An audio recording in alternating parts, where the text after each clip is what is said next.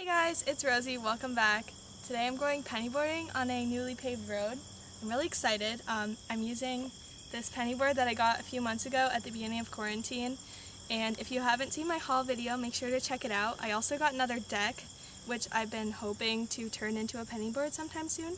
So make sure to check back for that, and let's go pennyboarding.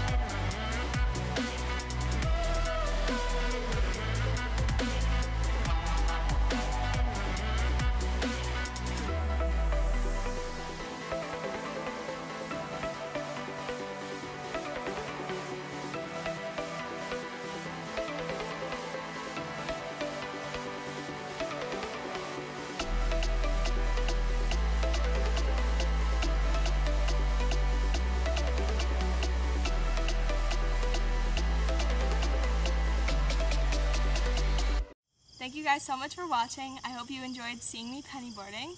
Make sure to check out all my social media at Rosie Revolts and my Etsy shop to buy one of my custom necklaces. And go see my book at getoutdoorsbook.com.